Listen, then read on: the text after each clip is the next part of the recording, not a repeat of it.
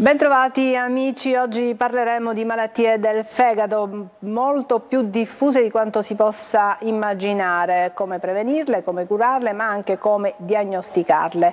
In studio con me il dottor Federico Salomone, dirigente medico dell'unità operativa complessa di gastroenterologia dell'ospedale Acireale e in collegamento abbiamo e do il benvenuto al dottor Maurizio Catania che è responsabile del laboratorio di analisi del presidio presidio territoriale eh, di San Giorgio Catania. Un presidio importantissimo perché scopriremo, eh, effettua veramente tantissimi accertamenti, insomma un laboratorio molto molto importante per quello che riguarda eh, la città di Catania. Parto subito col gastroenterologo, il dottor Salomone. Ehm, una delle patologie più diffuse è la steatosi epatica, più volgarmente detta fegato grasso. Mm, chi si sottopone a un'ecografia o insomma, una, una, visita medica ci si sente dire eh, lei ha il fegato un po' ingrossato, c'è un po' di grasso nel fegato. Ecco, perché questa eh, patologia e quante persone ne soffrono? Buon pomeriggio innanzitutto. La steatosi epatica dismetabolica è una condizione frequente nei paesi industrializzati, si stima che eh, il 30-50% della popolazione adulta presenti steatosi. È una condizione che è diventata così frequente perché lo stile di vita che abbiamo è uno stile di vita che ci predispone alla steatosi dismetabolica.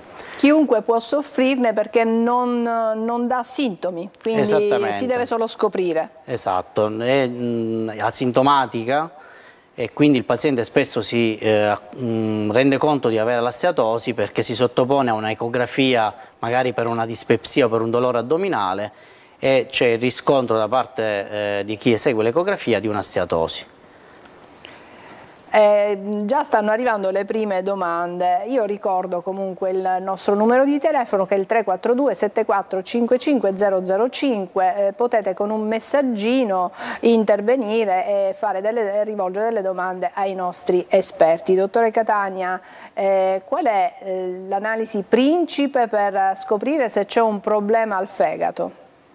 Allora, eh, ovviamente le, eh, le transaminasi sono gli, gli esami più eh, frequenti da eh, eseguire. Già eh, con le transaminasi noi possiamo fare una discrimina tra quelle che possono essere le varie cause che determinano un problema a livello del fegato. Accanto a questo ci sono sicuramente altri enzimi come la gamma GT e la fosfatasi alcalina che ci danno contezza di altro tipo di patologia a carico del fegato e poi ovviamente ne parleremo eh, eh, più in là, eh, degli esami più specifici che eh, interessano delle patologie un po' particolari del fegato, che non sono eh, né la stetosi epatica neppure le, eh, diciamo, le cosiddette epatiti virali o altre cause come la, la colestasi, cioè la, il permanere della bile all'interno del, dei dotti biliari e che sono le malattie autoimmuni del fegato. E poi ne parleremo ne parliamo più avanti. Intanto soffermiamoci appunto su quelle che sono le patologie più frequenti. Il dottor Catania ha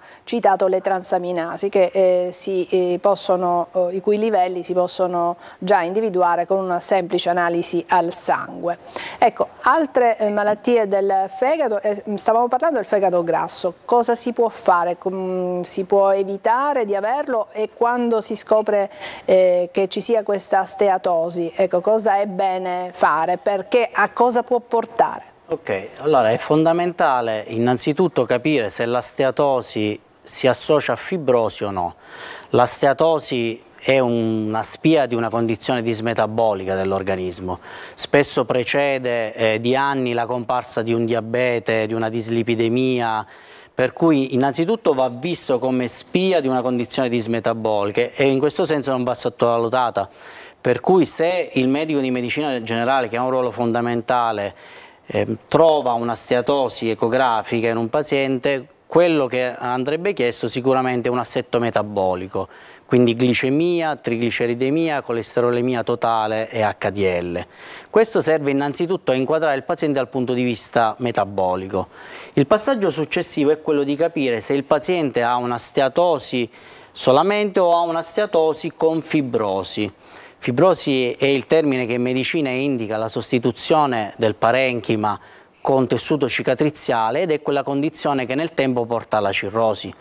Per cui un primo passaggio che può fare il medico di medicina generale, e in questo senso si sta cercando di sensibilizzare appunto la figura fondamentale eh, del medico di base, è proprio quella di eh, calcolare il rischio del paziente di avere fibrosi. Come si può farlo? In maniera semplice, attraverso un parametro che si chiama FIB4, che viene fuori da un calcolo che tiene conto di età, transaminasi e piastrine. La possibilità di calcolare il FIB4 la si ha gratuitamente con le app del telefonino oppure eh, su internet, per cui il medico di medicina generale in presenza di steatosi prima inquadra il paziente dal punto di vista della condizione metabolica e poi esegue il FIB4. Se il FIB4 è inferiore a 1,45 si può ragionevolmente escludere la presenza di fibrosi clinicamente significativa. Se il FIB4 è superiore a 3,4, allora il paziente ha un rischio di avere una fibrosi clinicamente significativa, per cui va indirizzato all'epatologo. I pazienti invece che si trovano nell'area grigia e sono una grossa fetta, quelli che hanno un FIB4 tra 1,46 e 3,39 diciamo che non hanno una particolare che situazione. sono in una fascia grigia possono essere indirizzati eventualmente all'epatologo che poi utilizzerà altri parametri non invasivi perché ce ne sono altri oltre al FIB4 per capire se il paziente che ha davanti è un paziente con steatosi o un paziente con steatosi e fibrosi. Ci sono delle medicine che possono aiutare il nostro fegato? Degli integratori? Si parla tanto di depurativi, di tarassaco, cardomariano, insomma, prima di passare diciamo, a farmaci molto più potenti, perché quelli sono degli integratori, diciamo, quelli allora, che ho citato io. Questa è la domanda che rivolgono tutti i pazienti. Diciamo che in questo momento tutte le società scientifiche che si occupano di malattie del fegato in particolare l'AISF, l'Associazione Italiana dello Studio del Fegato, che è quella a cui facciamo riferimento noi patologi italiani, raccomanda il cambiamento dello stile di vita come terapia della steatosi epatica. Cambiamento dello stile di vita significa modificare l'alimentazione e mh, diciamo, uh, uh, attivare un percorso di attività fisica che ovviamente va inquadrato poi nel contesto dell'età del paziente, delle comorbidità, ma ancora oggi la dieta nell'accezione greca del termine, perché dieta vuol dire stile di vita per l'appunto, è la terapia fondamentale della steatosi. Quindi mangiare bene, evitare fritture, sono, cibi grassi, ci sono zuccheri. alcuni alimenti, come lei giustamente dice, che sono sicuramente eh, responsabili della steatosi, i grassi saturi, il colesterolo, gli zuccheri semplici, soprattutto il fruttosio, Anni fa fece scalpore il fatto che eh, negli Stati Uniti, in cui c'è un consumo di sodas, cioè le bevande gassate, eh, veramente notevole, si vedeva che le quantità di fruttosio ingerite erano poi direttamente collegate allo sviluppo di fibrosi. Quindi diciamo ad oggi le evidenze ci dicono che è lo stile di vita che migliora sia la steatosi che la fibrosi. È vero però, e in questo mi sento di dare un messaggio ai pazienti che già dalla steatosi hanno sviluppato una cirrosi, è vero che ci sono dei farmaci promettenti in fase di sviluppo, per cui quando il danno al fegato si è già strutturato e c'è una cirrosi, lo stile di vita è sempre fondamentale, ma ripeto, ci sono dei farmaci allo studio per fare in modo che si abbia una regressione del danno. Bene, allora, ehm, sono, è arrivata una, diciamo, una richiesta che non, non, riguarda il fegato, ma eh, giustamente la nostra telespettatrice eh, ha visto che c'è in studio un gastroenterologo e quindi fa questa domanda. Sono allergica a diverse medicine, anzi alle medicine, lei dice cosa posso fare perché ha sempre del rigurgito e quindi questa forma di acidità. Questo diciamo non attiene alle malattie del fegato, no. quindi questo va inquadrato sì da un gastroenterologo ma nell'ambito di una malattia da reflusso gastroesofageo. Quindi magari ne parla col suo medico di base? In prima battuta indubbiamente, poi eventualmente eh, col gastroenterologo, ma è, è un, un quadro sintomatologico che ha a che fare con la malattia da reflusso gastroesofageo e non con Vabbè, possiamo dare dei consigli, magari di curare l'alimentazione, evitare cibi piccanti. Anche nel caso della malattia da reflusso, l'obesità viscerale che è uno dei fattori di rischio per eh, la steatosi è anche un fattore di rischio per la malattia del reflusso. Quindi io consiglierei alla signora Quindi, già innanzitutto di eh, incominciare a, a, individuare quali sono i cibi che le danno più fastidio, eh, vedere se magari ha delle intolleranze, potrebbe anche essere questo. Io direi che innanzitutto dovrebbe fare un, una valutazione con un gastroenterologo e a quel punto si deve capire se c'è necessità di fare un inquadramento anche endoscopico della malattia del reflusso o no. Perfetto. Allora, atteniamoci però al tema, eh, stiamo parlando di malattie del fegato, quindi eh, fegato grasso, detto in termini scientifici steatosi epatica, parleremo di epatite C, parleremo anche di malattie autoimmuni del fegato che a quanto pare sono in aumento eh, e quindi ne parliamo eh, subito dopo questa pausa pubblicitaria.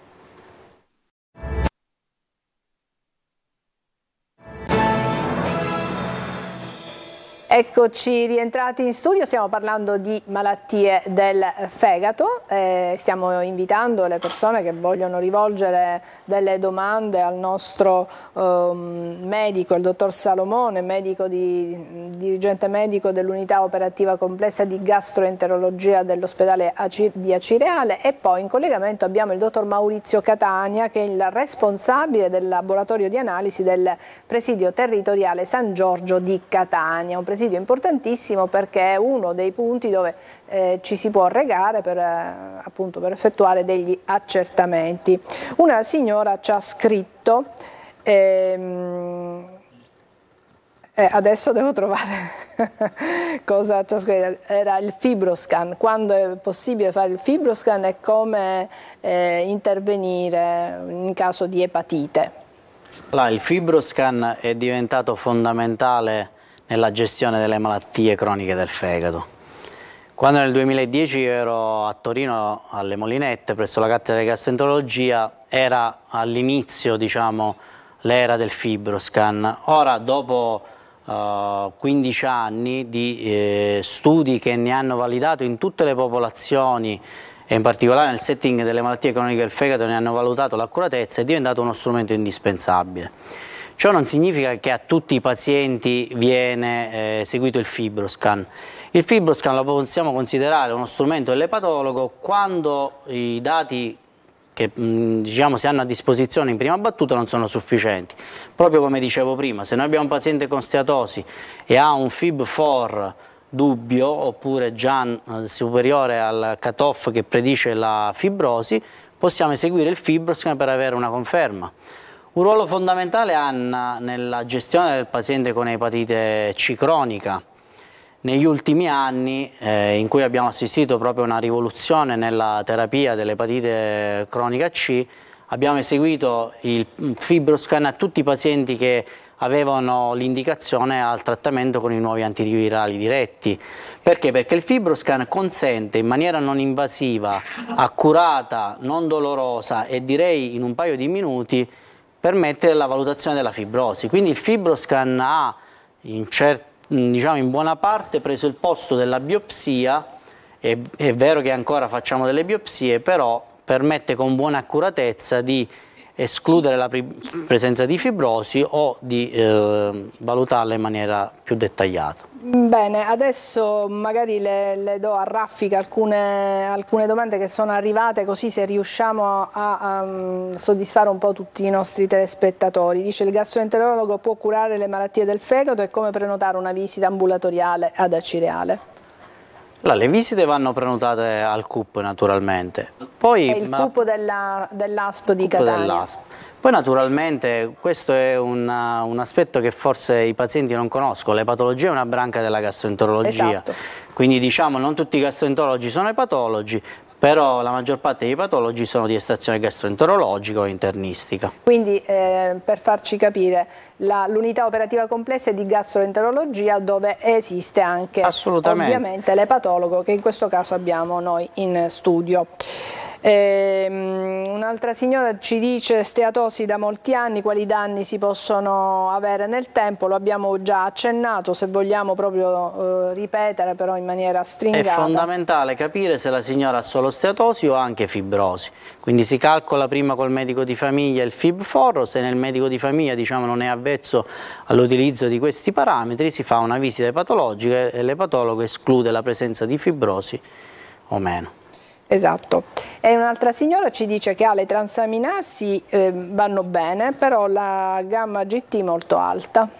La gamma GT è un indicatore pure di condizione dismetabolica, è un enzima che tipicamente troviamo aumentato proprio nell'obesità, per cui anche se le transaminasi sono normali, se c'è una gamma GT elevata va indagata la condizione metabolica del soggetto.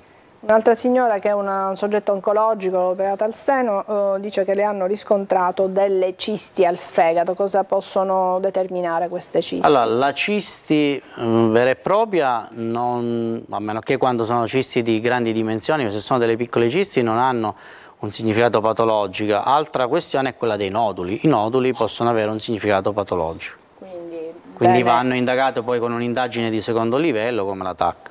Certo. Dottor Catania, allora ci sono anche degli accertamenti per scoprire delle malattie autoimmuni del fegato, sono, non sono per fortuna frequentissime ma eh, ci sono persone che soffrono anche di malattie autoimmuni del fegato. Eh, voi nel vostro centro effettuate delle analisi specifiche.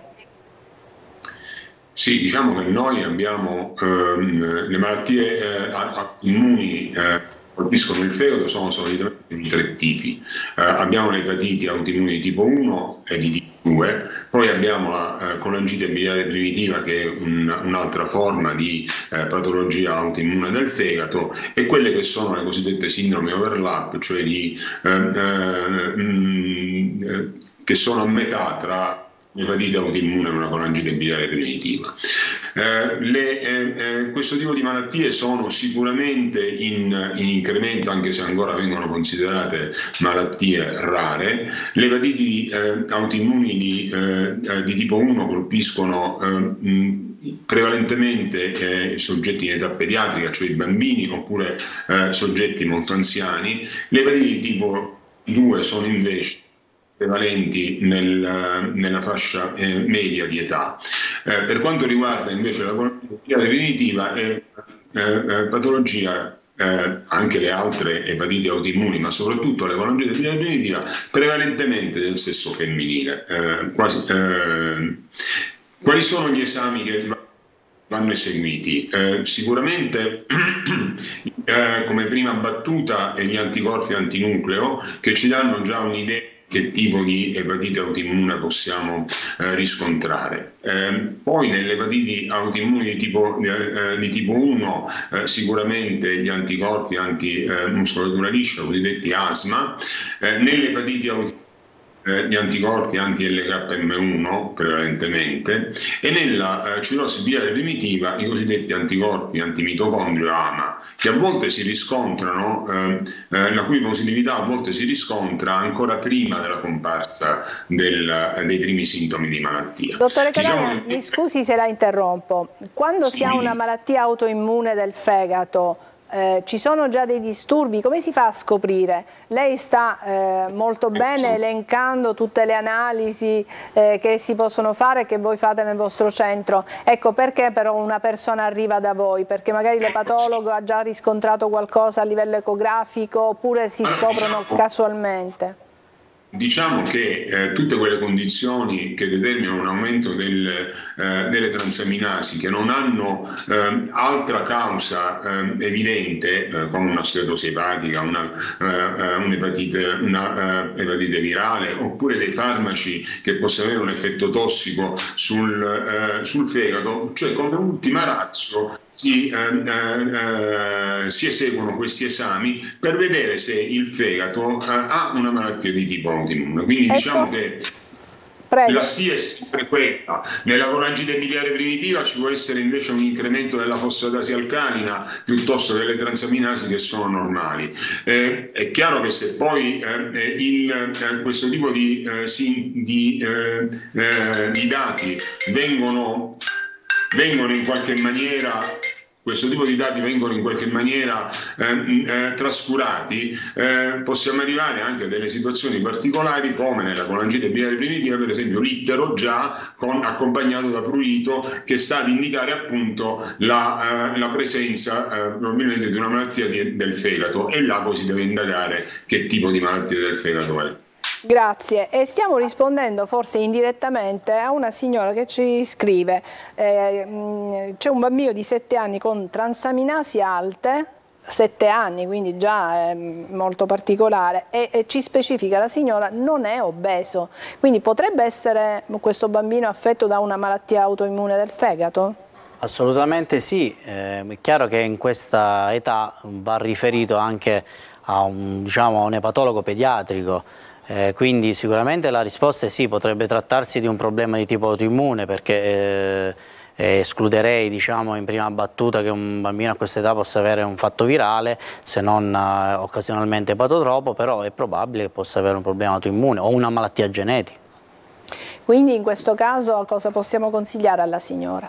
Ci sono dei centri di riferimento a livelli nazionali che si occupano di epatologia pediatrica, quindi la signora sicuramente eh, si deve documentare e cercare dei riferimenti a livello pediatrico, però anche in questa fase io direi intanto eh, è opportuna una consulenza del pediatra, poi sarà il pediatra a inviare a un centro patologico pediatrico. Certo, però potrebbe già effettuare le analisi che ha citato il dottore Catania. Certamente. Così magari Certamente. si può arrivare come dire, sì, con sì. Delle, degli accertamenti in più. Un con... pattern di autoimmunità può essere sicuramente eseguito già in questa fase, non occorre aspettare il consulto con uh, diciamo, il pediatra che si occupa di patologia, quindi già esatto. in una esatto. prima Possiamo... fase si può eseguire un pattern di autoimmunità e vedere se c'è qualche positività. Ci chiedono, um, un nostro telespettatore soffre da molto tempo di morbo di Crohn, ci può essere un collegamento con il fegato? Questa è una domanda assolutamente pertinente perché la malattia di Crohn si associa alle forme di colangite immunomediata di cui parlava il dottor Catania, quindi sì, sia la colite ulcerosa che la malattia di Crohn possono associarsi a una colangiopatia cronica di tipo immunomediato o a un'epatite autoimmune è un riscontro frequente, in genere è non frequente ma è possibile. E quali altre malattie può avere il fegato? Abbiamo parlato delle cisti, abbiamo parlato eh, di fegato con eh, fibro eh, di steatosi epatica. Io spenderei, se lei me lo consente, diciamo, qualche mh, parola sull'epatite C cronica. Nel senso che in nessun campo della medicina come nel campo della terapia dell'epatite C cronica si, si, è veramente assistito a una rivoluzione negli ultimi anni con l'avvento dei eh, gli antivirali diretti che oggi sono pangenotipici e che danno una eradicazione del virus del 100, vicino al 100% dei casi. Quindi c'è una buona speranza per chi soffre di epatite assolutamente. C di spesso, natura virale? Assolutamente sì, spesso pazienti magari nell'ottava decade di vita mm, dicono vabbè ma ce l'ho da anni, mm, ma invece oggi i farmaci sono talmente efficaci e sicuri che il trattamento non deve essere escluso a priori. E a questo proposito volevo anche sottolineare che comunque c'è ancora un sommerso che riguarda l'epatite C. E allora alcuni anni fa il Ministero ha stanziato dei fondi per una campagna di screening. Poi c'è stato il Covid di mezzo, però la campagna di screening verosimilmente eh, l'anno prossimo partirà anche in Sicilia, riguarderà tutti i residenti diciamo, nella nostra regione un, eh, diciamo, nati in un eh, intervallo tra il 1969 e il 1989, prevederà l'esecuzione di un test anti-HCV gratuito e poi da lì se c'è la positività dell'anti-HCV si eseguiranno ovviamente la viremia e tutte quelle indagini anche diagnostico strumentali che servono a inquadrare il paziente. Però dico il messaggio che deve arrivare forte è che dobbiamo ancora scoprire pazienti che non sanno avere l'epatite C e quelli che ce l'hanno devono curarsi. E guarda caso è arrivato proprio in questo istante eh, un, un, messaggio, un, un, signore o una signora si era recata per, fare, per donare il sangue ed è risultata eh, affetta da epatite C, poi ha voluto fare un altro controllo un altro laboratorio e non è, è risultato questo, invece è risultata negativa, dice potrebbe essere eh, questione di reagente. Ci insomma. sono, ovviamente a questo può rispondere benissimo, meglio però di me dobbiamo il chiudere, Catania, siamo però. Ci sono, ci sono dei falsi positivi e dei falsi negativi ovviamente, però dico, eh, è importante che se il paziente è anti-HCV positivo si sottoponga a una viremia e sappia che oggi c'è una terapia estremamente efficace ed estremamente sicura. Quindi intanto rifare magari le analisi in un altro, laboratorio. Un altro laboratorio e vedere un attimo se realmente è affetto da epatite C, nel qual caso il dottore ci sta tranquillizzando, ci sono degli antivirali molto efficaci adesso, quindi anche chi ci soffre da tanti anni può, eh, ecco, non, non deve necessariamente rassegnarsi a questa sua condizione. Ultimo ultimo, proprio in chiusura, vorrei dire, fare un accenno all'utilizzo all di alcol così eh, frequente nei giovani, soprattutto in età veramente molto giovane, eh, nel weekend, insomma, i ragazzi si, eh, si fanno gli shortini, queste, queste sono eh, una pratica Assolutamente ha ragione, eh, la steatosi epatica che dipende dal, dall'abuso di alcol non va uh, dimenticata, non va sottovalutata, soprattutto negli adolescenti dove c'è questa pratica eh, chiamata binge drinking, cioè il fatto di bere nel fine settimana delle quantità di alcol eh, che sono assolutamente in grado di danneggiare il fegato, intanto con un primo danno di tipo uh, steatosico, quindi dando l'insorgenza della steatosi, ma poi possono condurre nel tempo anche alla fibrosi di cui si parlava prima. Quindi, quindi non abbassare la guardia esatto, sull'abuso Non perché si è giovani si può fare una vita totalmente sregolata, perché poi eh, purtroppo i danni eh, ci saranno. Eh, continuano ad arrivare tanti messaggi, ma purtroppo non possiamo più rispondere a nessuno, a nessun'altra persona. Ci, ci dicono di avere le transaminasi alte, anche se fanno attività fisica e insomma e quindi va indagato indagare, in un altro contesto il, il, perché di queste transaminasi ci vorrebbero tanti altri minuti di trasmissione per rispondere a tutti io ringrazio i miei ospiti grazie al dottore Salomone grazie. Grazie al dottor Maurizio Catania per essere stato con noi ancora una volta e grazie anche a voi che ci avete seguito fin qui. A tutti e alla prossima puntata.